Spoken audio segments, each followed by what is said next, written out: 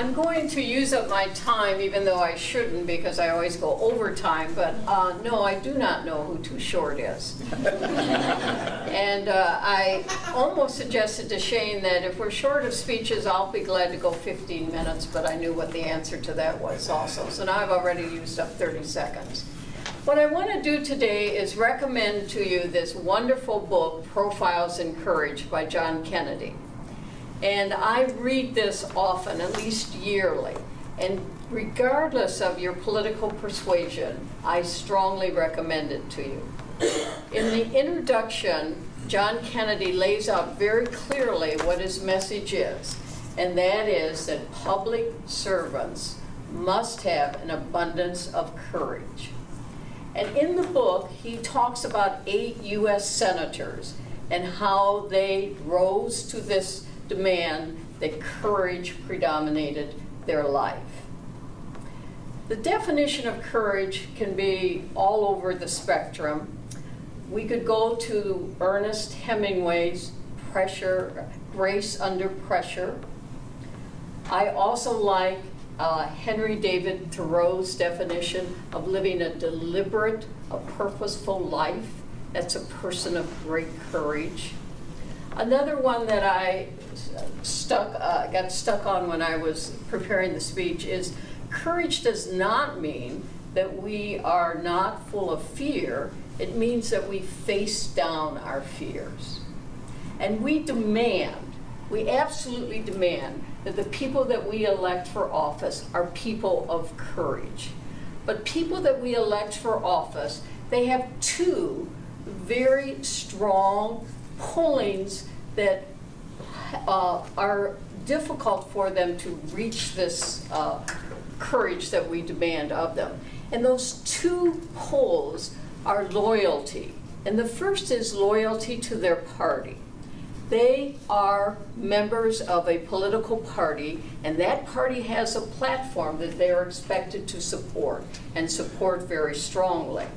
The other loyalty that pulls at them and makes them want to compromise on courage is their loyalty to their constituents, the people that got them to the office. And they must be responsible to them, but not to the point that they uh, go down on their courage. Uh, when we elect people, it's not only that we're electing them because we believe in them, but we also want them to be well-informed people of moral courage.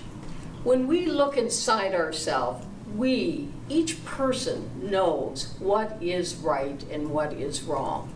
And we expect these people that we elect to represent us to be able to go within themselves and say, I must do what is right, regardless of the loyalties that I owe to other people my first obligation is to bring out that good of our whole nation by voting the right way. In this book, John Kennedy talks about a wonderful senator from Kansas, Senator Edmund Ross. And he was a one-term senator, which tells you a lot. He stood up for what was right. And as a result, he did not return to office. And he was senator during the Reconstruction period, a very difficult time in our American history. And basically what the problem was at that time, right after the Civil War, do we punish the South for what they've done, or do we bring them back in and have a real united nation, uh, United States? And the president of the time, Andrew Johnson, who followed the uh, Abraham Lincoln after his assassination, wanted to be conciliatory. Let's start all over again. Let's move forward. Let's not be punitive. Let's not be vindictive towards the South. And there was a party uh, referred to as the radical wing of the party that said, no, that's too soft. These people were responsible for four years of bloodshed, of fighting families against families, brothers against brothers. We must punish them.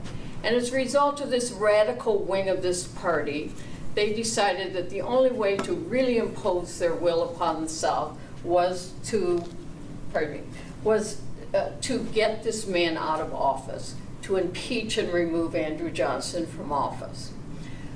What happens then is that it, the vote count was made, and these people that are of this radical wing knew that it was going to come down to one vote, and that vote was going to be Edmund Ross, who was of this radical wing. And he was badgered, he was pleaded with, the party sat down with him and said, do you understand how important it is that you go and vote the party line? We must get this man out of office.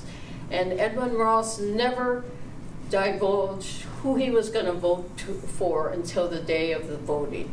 And he stood up, and everybody knew he was the key person. And he said in a very loud and clear voice, not guilty.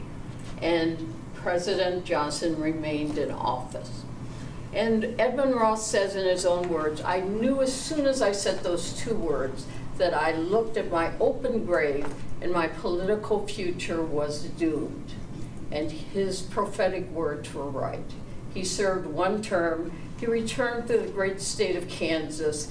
He was called the Benedict Arnold of Kansas. He was scorned upon, vilified. But Edmund Ross could look himself in the face every morning and said, I was a man of principle. I stood up for what is right. And this book not only talks about Edmund Ross, but seven other people that had the courage, the moral courage to go deep within themselves and say, I must, I will do what is right. Thank you.